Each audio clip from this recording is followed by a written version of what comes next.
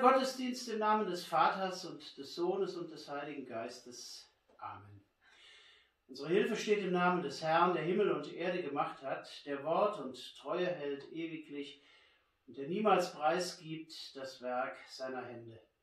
Die Gnade unseres Herrn Jesus Christus, die Liebe Gottes und die Gemeinschaft des Heiligen Geistes sei mit euch allen. Liebe Schwestern und Brüder, nun sind wir, was den Lebenslauf des Mose betrifft, an der Stelle angelangt,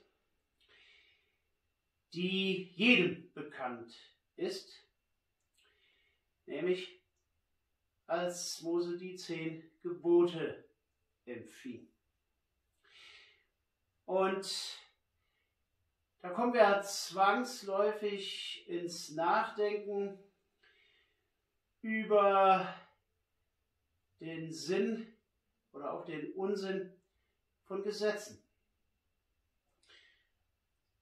Engen sie ein oder sind sie Leitlinie? Darüber wollen wir nachdenken, wenn wir von den zehn Geboten hören.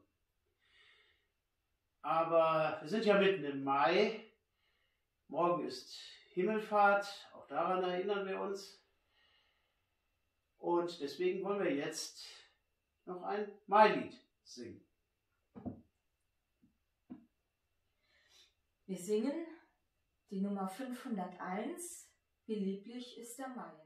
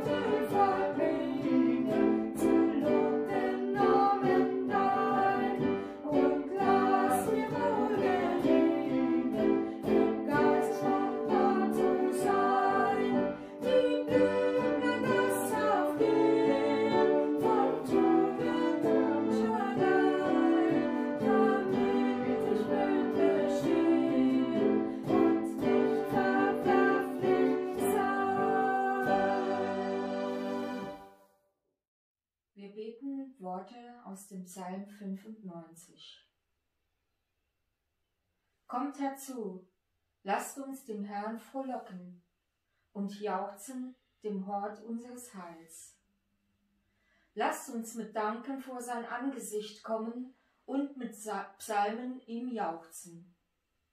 Denn der Herr ist ein großer Gott und ein großer König über alle Götter.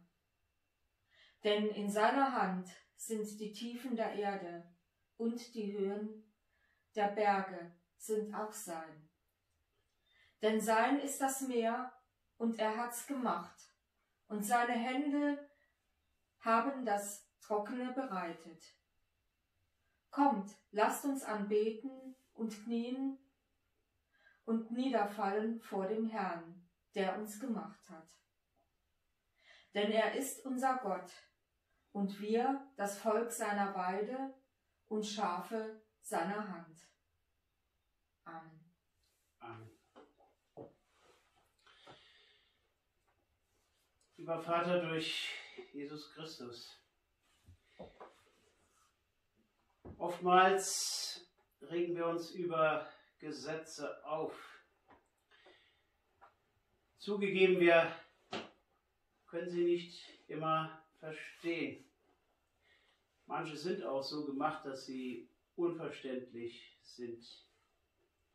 Aber gilt das auch für deine Gesetze? Du hast uns die zehn Gebote gegeben. Viele nennen sie auch die zehn Freiheiten.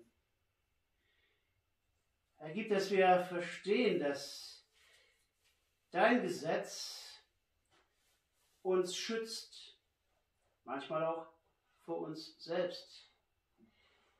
Gibt, dass wir erkennen, dass dein Gesetz nicht einengt, sondern wenn wir es befolgen, befreit.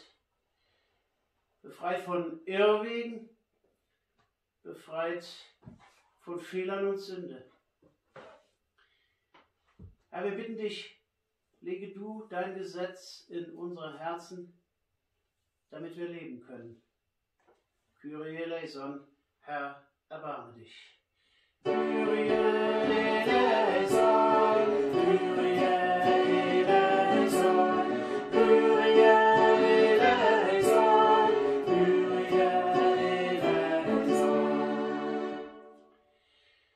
Gott hat uns gemacht und nicht wir selbst zu seinem Volk und zu Schafen seiner Weide.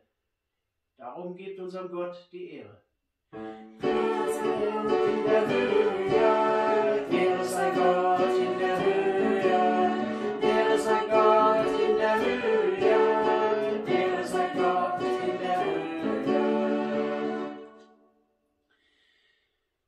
Herr Jesus Christus, du hast gesagt, ich bin nicht gekommen, das Gesetz aufzulösen, sondern zu erfüllen. Ja, gibt es wir das sehen, dass du das Gesetz erfüllt hast, indem du für uns starbst und auferstandest. Gibt es wir dir nachfolgen, ja, dass du unser guter Hirte und unsere Leitschnur im Leben bist. Das bitten wir durch dich, der du mit dem Vater und dem Heiligen Geist lebst und leben wirkst, von Ewigkeit zu Ewigkeit.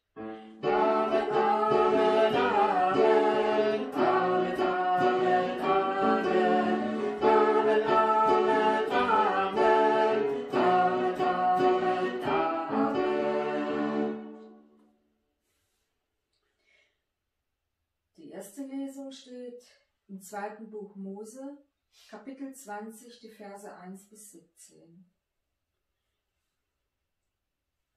Dann gab Gott dem Volk seine Gebote. Er sagte, Ich bin der Herr, dein Gott. Ich habe dich aus Ägypten herausgeführt. Ich habe dich aus der Sklaverei befreit. Neben mir gibt es für dich keine anderen Götter.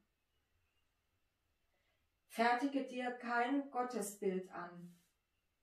Mach dir auch kein Abbild von irgendetwas im Himmel, auf der Erde oder im Meer. Wirf dich nicht vor fremden Göttern nieder und diene ihnen nicht, denn ich, der Herr, dein Gott, verlange von dir ungeteilte Liebe. Wenn sich jemand von mir abwendet, dann bestrafe ich dafür auch seine Kinder, sogar noch seine Enkel und Urenkel. Wenn mich aber jemand liebt und meine Gebote befolgt, dann werde ich ihm und seinen Nachkommen Liebe und Treue erweisen über tausende von Generationen hin. Missbrauche nicht den Namen des Herrn, deines Gottes, denn der Herr wird jeden bestrafen, der das tut. Vergiss nicht den Tag der Ruhe. Er ist ein besonderer Tag, der dem Herrn gehört. Sechs Tage in der Woche hast du Zeit, um deine Arbeit zu tun. Der siebte Tag aber soll ein Ruhetag sein. An diesem Tag sollst du nicht arbeiten, auch nicht deine Kinder, deine Sklaven, dein Vieh oder der Fremde, der bei dir lebt. In sechs Tagen hat der Herr Himmel, Erde und Meer mit allem, was lebt, gemacht, geschaffen. Am siebten Tag aber ruhte er. Deshalb hat er den siebten Tag der Woche gesegnet und zu seinem Tag erklärt. Ehre Vater und Mutter, dann wirst du lange in dem Land leben, das dir der Herr, dein Gott, gibt. Morde nicht, zerstöre keine Ehe, beraube niemand seiner Freiheit und seines Eigentums. Sage nichts Unwahres über deinen Mitmenschen. Suche nichts an dich zu bringen, was einem anderen gehört, weder seine Frau, noch seine Sklaven, Rinder oder Esel, noch irgendetwas anderes, das ihm gehört. Halleluja! Dein Wort ist unseres Fußes Leuchte und ein Licht auf unserem Weg. Halleluja! Der Herr ist auferstanden, Halleluja! Er ist wahrhaftig auferstanden, Halleluja! Der Herr ist auferstanden, Halleluja! Er ist wahrhaftig auferstanden, Halleluja! Der Herr ist auferstanden, Halleluja. Er ist wahrhaftig auferstanden, Halleluja. Halleluja, Halleluja. Halleluja, Halleluja. Halleluja, Halleluja. Halleluja, Halleluja. Wir wollen miteinander das nächste Lied singen. Das ist die Nummer 432. Gott gab uns Atem. verstehen.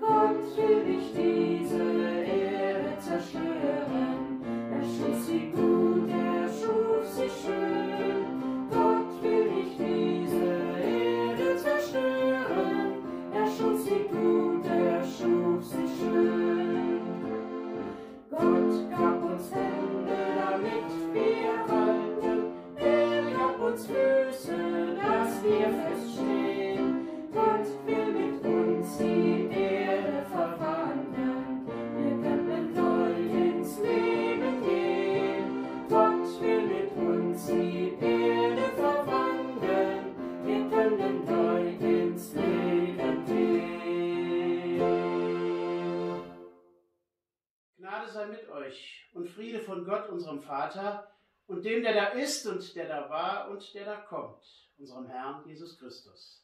Amen. Es folgt die zweite Lesung.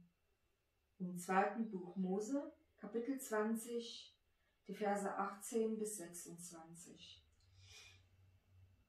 Als das ganze Volk erlebte, wie es blitzte und donnerte, Posaunenschall ertönte und der Berg rauchte, bekam es große Angst und blieb zitternd in weiter Ferne stehen. Sie sagten zu Mose, wir haben Angst, wenn Gott so mit uns spricht. Wir werden noch alle umkommen. Sprich du an seiner Stelle zu uns. Wir wollen auf dich hören. Da sagte Mose zum Volk, ihr müsst keine Angst haben. Gott ist nur gekommen, um euch auf die Probe zu stellen. Er will, dass ihr ihn ehrt und euch davor hütet, ihm ungehorsam zu sein. Das Volk blieb in der Ferne stehen. Mose aber näherte sich der dunklen Wolke, in der Gott war. Der Herr sagte zu Mose, Richte den Israeliten aus. Ihr habt erlebt, wie ich vom Himmel her mit euch gesprochen habe. Darum sollt ihr keine anderen Götter neben mir haben. Macht euch keine silbernen und goldenen Götzenbilder. Um mir zu dienen, braucht ihr nur einen Altar aus aufgeschütteter Erde. Bringt mir darauf eure Brand- und Mahlopfer dar, eure Schafe, Ziegen und Rinder. Tut das an jedem Ort, den ich zum Heiligtum für mich bestimmen werde. Überall dort werde ich euch nah sein und werde euch Glück und Segen schenken.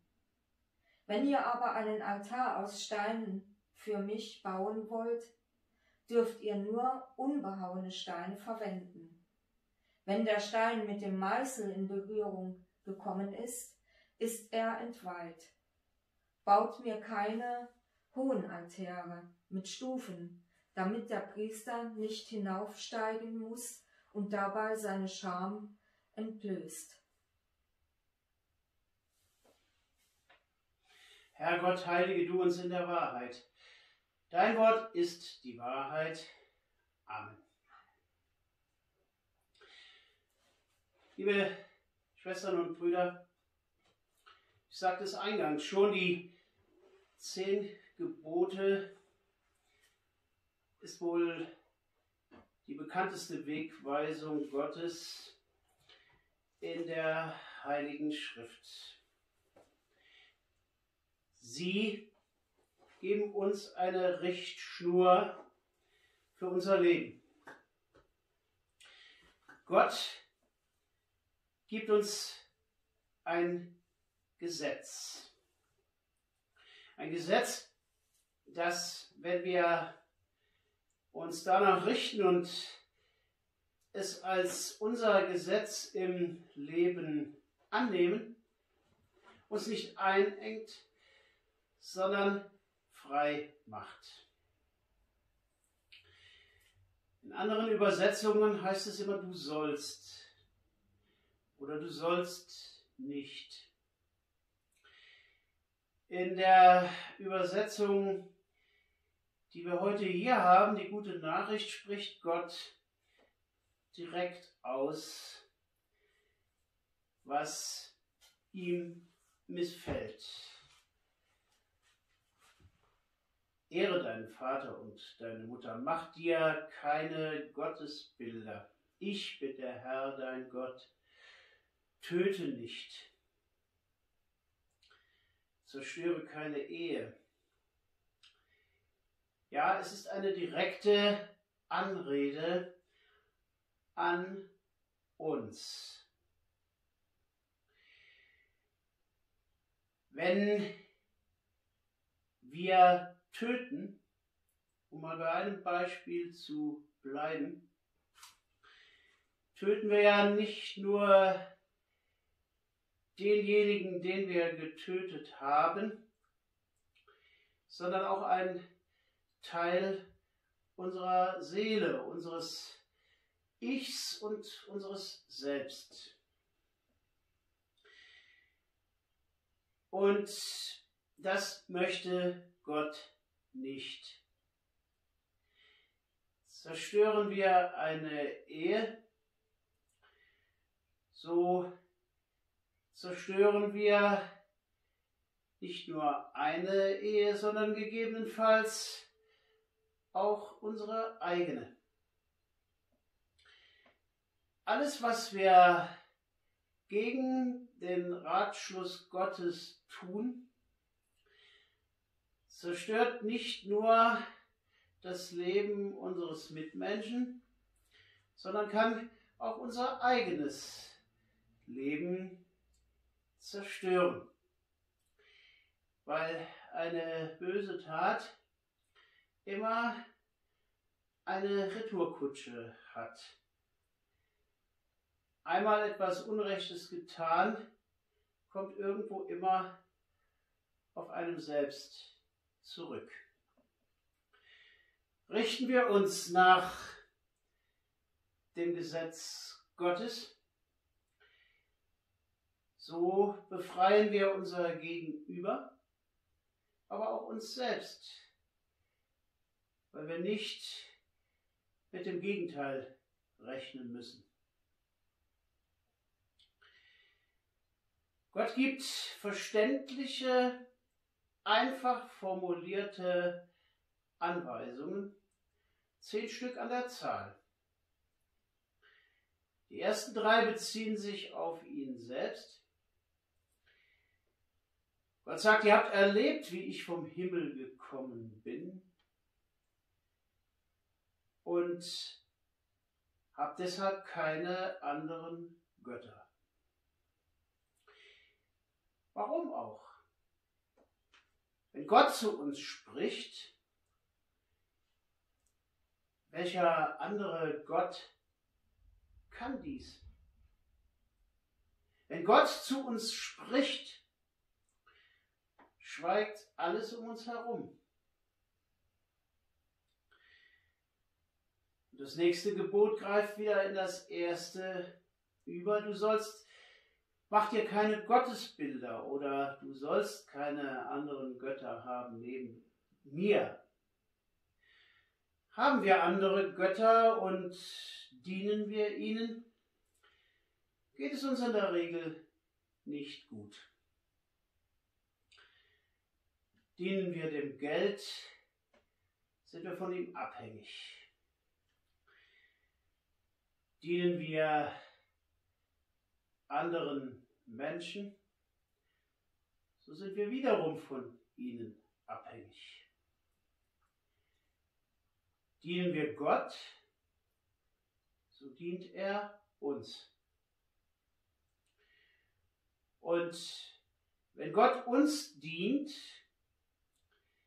haben wir keinen Grund, seinen Namen durch den Schmutz zu ziehen. Missbrauche meinen Namen nicht. Fluche nicht in meinem Namen. Oder Nenne ihn nicht, wenn du mich nicht direkt ansprichst. Und so haben alle Gebote einen direkten Bezug zu uns, aber auch einen direkten Bezug zu Gott. Die nächsten sechs Gebote beziehen sich auf uns und auf unser Leben. Und wie ich eben schon mal sagte, wenn wir diese als unsere Lebensrichtschnur annehmen, so geht es unseren Mitmenschen gut, aber eben auch uns selbst.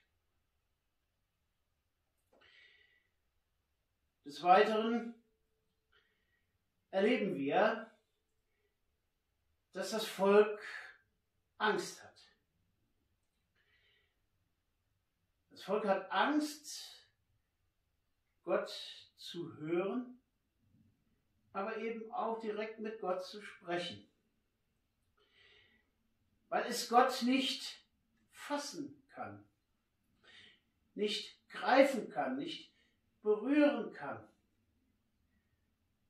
Gott ist für das Volk eine unbegreifbare Macht, von dem es weiß, dass sie es führt, aber von dem es auch spürt, dass sie für das Volk selbst einfach zu groß ist. Und so setzt es, ohne es zu wissen,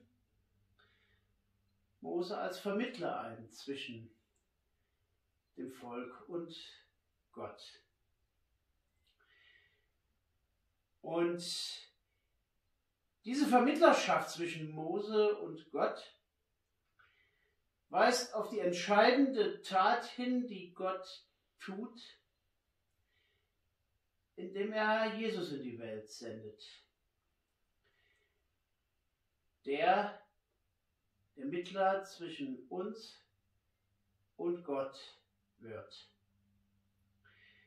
Und indem Gott sich durch Jesus erfahrbar, greifbar, fühlbar und auch ermessbar gemacht hat, weil er sich durch ihn uns gleich machte, können wir seit Jesus mit Gott sprechen. Jesus ist die Brücke zwischen uns und ihm und umgekehrt. Und Gott weist darauf hin, dass die Menschen Altäre bauen sollen. Aber einfache Altäre. Wenn der Meißel den Stein berührt, sagt Gott, ist er entweiht. Baut keine Hochaltäre, damit der Priester nicht hinaufsteigen muss und seine Scham entblößt. Ich füge hier mal etwas scherzhaft hinzu, zu dieser Zeit gab es wohl noch keine gebräuchlichen Unterhosen. Das einfach mal zum besseren Verstehen. Aber es geht auch darum, dass sich der Priester nicht erhöht vor dem Volk. Der Priester bringt die Opfer des Volkes auf dem Altar dar,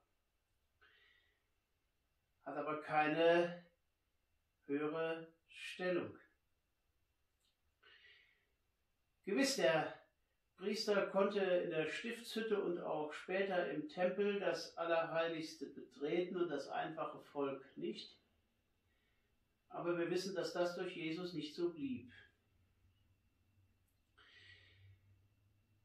Und noch einmal zurück zu den Gesetzen. Wir haben oftmals das Gefühl, dass Gesetze uns einengen. Gerade jetzt ist so viel von Freiheit die Rede. Aber wie gehen wir Menschen mit Freiheiten um? sind wir nicht oft überfordert, je mehr Freiheiten wir haben? Der Mensch ist, wie man so schön sagt, ein Herdentier. Wir brauchen Leitung. Mit vollkommener Freiheit, in der alles erlaubt ist, was irgend geht, kommt der Mensch nicht zurecht. Ich möchte hier keine Werbung für Diktaturen machen. Aber eine Leitschnur ist für uns lebenswichtig. Und deshalb ist es wichtig, dass diejenigen, die für uns Gesetze schaffen, sie so verfassen, dass wir sie verstehen können und wir nicht das Gefühl haben müssen, dass wir für die Gesetze da sind, sondern eben umgekehrt, dass die Gesetze zu unserem Schutz und zu unserer Lebensrichtschnur dienen. Und die Einfachheit, mit denen die zehn Gebote formuliert sind, zeigen uns, dass sie genau das sagen wollen. Sie sind gut verständlich und engen uns nicht ein, sondern sind wie eine Leitplanke an einer abschüssigen Straße. Sie leiten uns. Sie leiten uns im Umgang mit unseren Mitmenschen und sie leiten uns im Umgang mit uns selbst. Und vor allem sie leiten uns in unserem Verhältnis zu Gott. Und Jesus sagt, ich bin nicht gekommen, um die Gesetze aufzulösen. Jesus hat nichts aufgelöst. Weder einen Bund, den Gott mit den Menschen schloss, noch ein Gesetz. Aber indem er für uns in den Tod ging, erfüllte er eben diese Gesetze. Jesus war zeitlebens fehlerlos und ohne Sünde. Er kann das von sich behaupten. Und deshalb erfüllte Jesus die Gesetze, indem er starb und auferstand und damit uns frei von aller Sünde machte, wenn wir ihn herzlich um Vergebung bitten. Und so stehen die zehn Gebote und Jesus in unmittelbarem Zusammenhang. Jesus hilft uns dabei, Gesetze zu verstehen und vergibt uns unsere Schuld und macht uns vor dem Gesetz wieder frei. Gewiss, wir bauen auch heute Altäre. Auch Hochaltäre sind gebaut worden. Und mancher Missbrauch wurde auch in der Kirchengeschichte begangen, indem sich Menschen über das Volk hinwegsetzten oder gar sich über das Volk erhoben. Aber so sehr Menschen dies auch versuchen, der Mensch ist immer niedriger als Gott zwar wenig niedriger, wie es im Psalm 8 heißt, aber niedriger. Erst durch Jesus, wenn wir Jesus in unser Leben lassen, werden wir vor Gott würdig und ihm gleich, weil Jesus Gott gleich ist, weil Gott sich in ihm uns gleich machte. Und wir brauchen nicht in Angst zu leben, wenn wir mit Gott reden, sondern können durch Jesus wie zu einem guten Freund mit ihm sprechen. Und daher sind seit Jesus die zehn Gebote noch freimachender wie vorher. Wir sind durch Jesus frei, weil er uns frei gemacht hat, indem er die Grenze des Todes überwand. Das ist die Botschaft, die von den zehn Geboten ausgeht, die unsere Leit- und Richtschnur für unser Leben waren und sind und auch in Zukunft bleiben. Amen. Und der Friede Gottes, der so viel höher ist als alle unsere Vernunft, bewahre unsere Herzen und Sinne in Christus Jesus, unserem Herrn.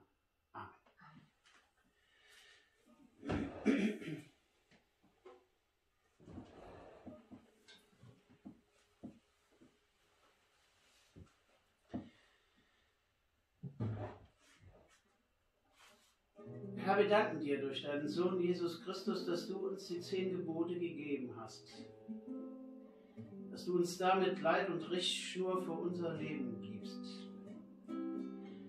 Gib, dass wir das auch so sehen. Dass wir spüren, dass die zehn Gebote uns nicht einengen, sondern im Gegenteil frei machen. Weil du uns frei gemacht hast. Gib, dass wir das erkennen, wenn wir jetzt vor dich treten und dir die Ehre geben. Mache du uns dazu würdig. Amen. Höre Israel.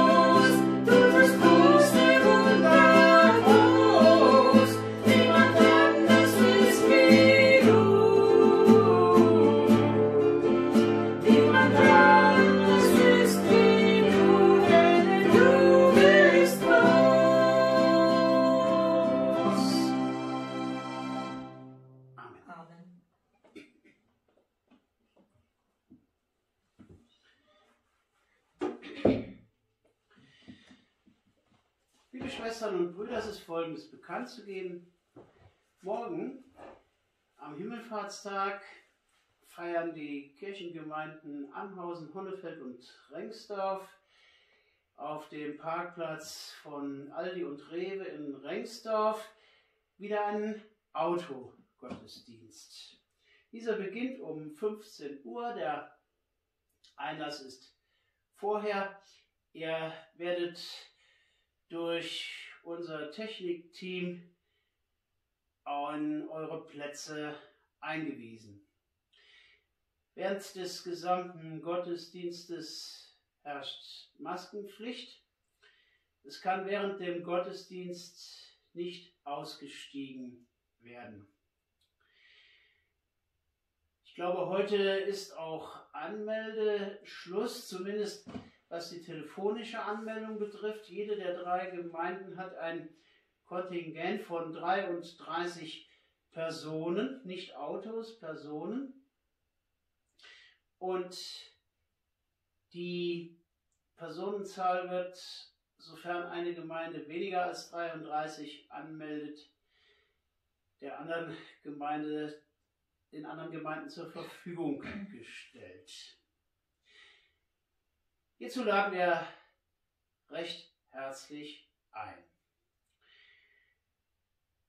Wir laden ein zum nächsten Gottesdienst am kommenden Sonntag, dem 16. Mai. Danke, dass ihr mitfeiert, dass ihr uns Rückmeldungen gebt. Es wäre schön, auch Liedwünsche zu hören. Viele tun das ja auch.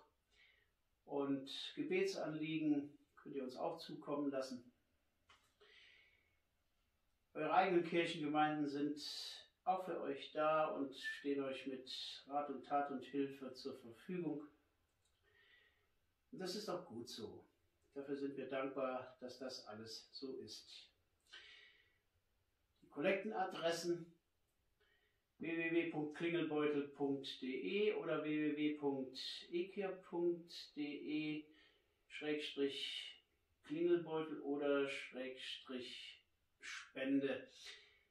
Hier könnt ihr alles Wissenswerte entnehmen. Aber auch bei den Gemeinden direkt kann gespendet werden. Dafür gibt es auch Adressen, die könnt ihr über die jeweiligen Homepages oder auch telefonisch erfahren. Wir wollen nun miteinander Fürbitte halten. Lieber Vater durch Jesus Christus, du hast uns die zehn Gebote gegeben und uns damit gezeigt, wie du möchtest, dass wir leben und wie wir leben können, ohne uns von dir oder von unseren Mitmenschen zu entfernen. Gib, dass wir spüren, dass die zehn Gebote befreiende Wirkung haben. Gib, dass wir merken, dass sie uns nicht einengen, sondern gut tun.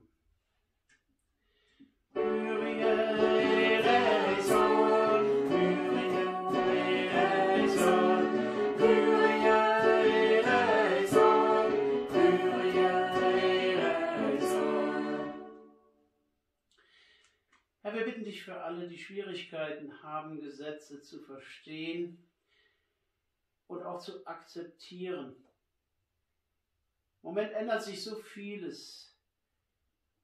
Wenn wir abends schlafen gehen, wissen wir manchmal noch nicht, was morgens ist. Er gibt, dass wir hierüber die Geduld nicht verlieren.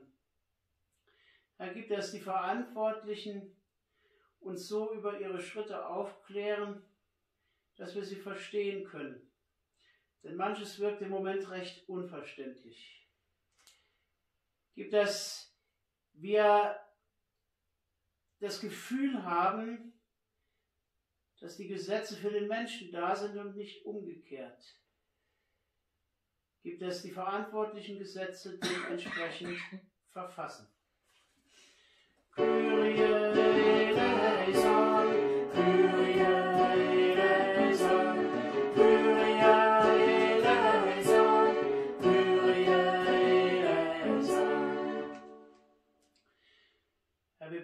für alle, die im Gesundheitswesen, in der Wissenschaft, in Sozialstationen und überhaupt in allen sogenannten systemrelevanten Berufen arbeiten. Er gibt, dass sie ihre Arbeit auch weiterhin tun können. Gib du ihnen deine Kraft und deinen Geist dazu, ja, dass sie sich von dir getragen wissen in dieser schwierigen Zeit.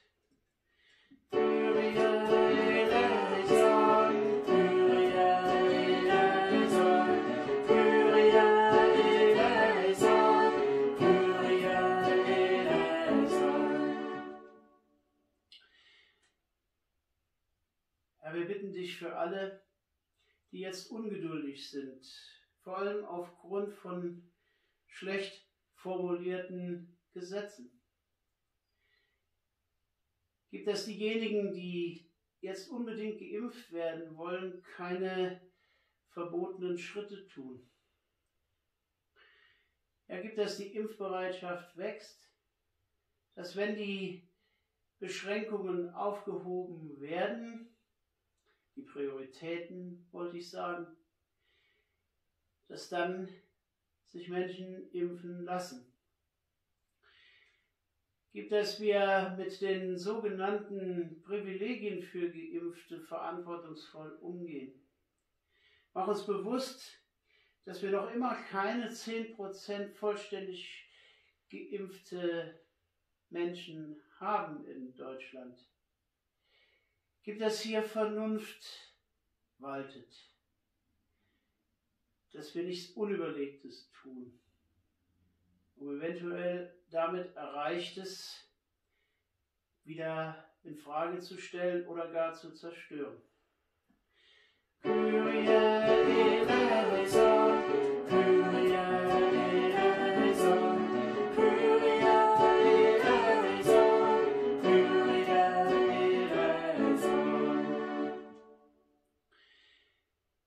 Herr, wir bitten dich um Geduld. Und wir bitten dich, lass uns nicht müde werden, daran zu glauben, dass die Zeiten wieder besser werden. Mach uns stark, dass wir das, was nötig ist, auch weiterhin tun.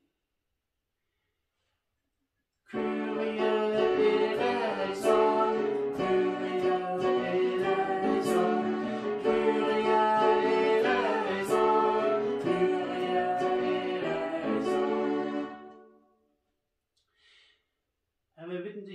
alle, die jetzt konfirmiert werden sollen oder auch die, die schon konfirmiert sind.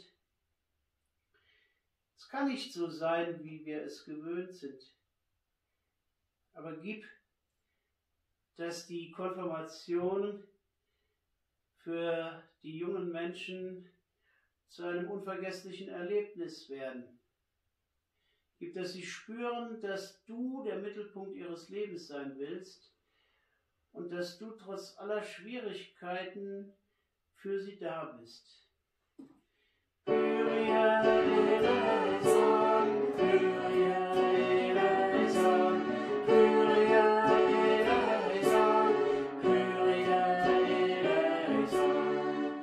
Ebenso bitten wir dich für alle Schülerinnen und Schüler. Es ist immer ein Hin und Her. Präsenzunterricht, Homeunterricht. Gibt, dass sie mit dieser Situation zurechtkommen, vor allem die kleineren. Gibt es, sie begreifen, dass Tests notwendig sind und gib, dass es Möglichkeiten geben wird, durch die Pandemie verursachte Rückstände wieder aufzuholen. Sei auch bei allen Lehrerinnen und Lehrern, die immer wieder neue Möglichkeiten suchen müssen, damit die Schüler überhaupt lernen können. Gib du deinen Geist in diese ganze Situation. Kyrie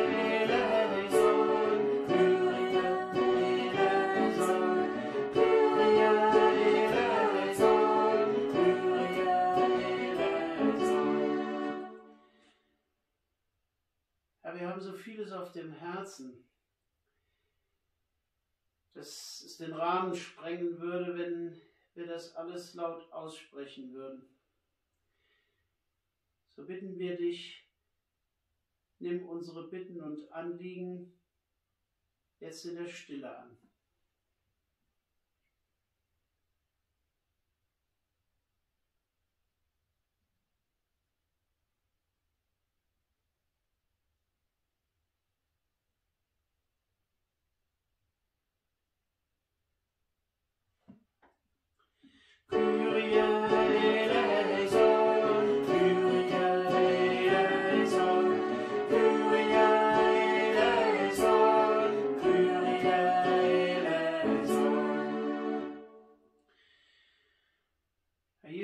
Hast gesagt, ich bin gekommen, das Gesetz zu erfüllen.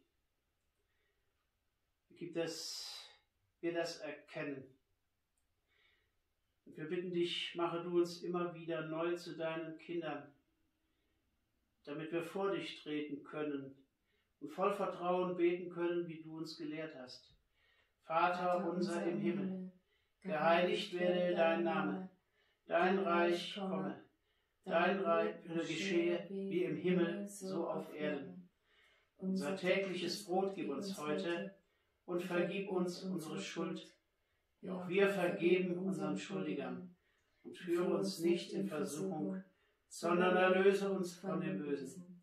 Denn dein ist das Reich und die Kraft und die Herrlichkeit in Ewigkeit. Amen. Wir singen miteinander das Schlusslied. Das ist die Nummer 659. Ins Wasser fällt ein Stein.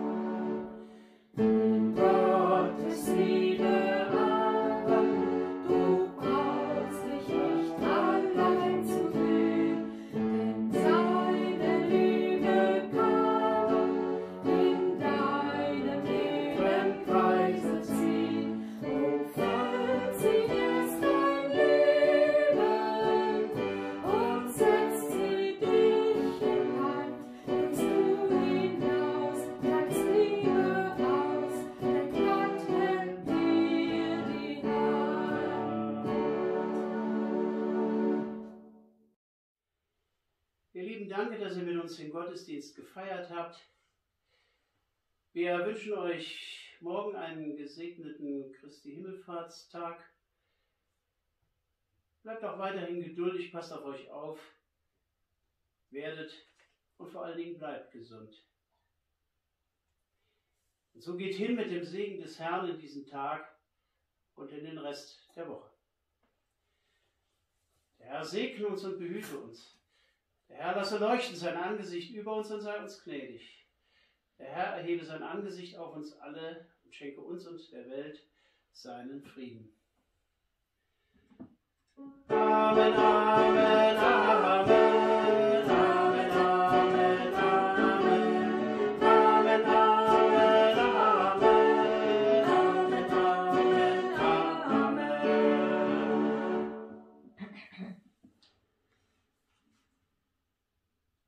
Nachspiel hören wir, da berühren sich Himmel und Erde.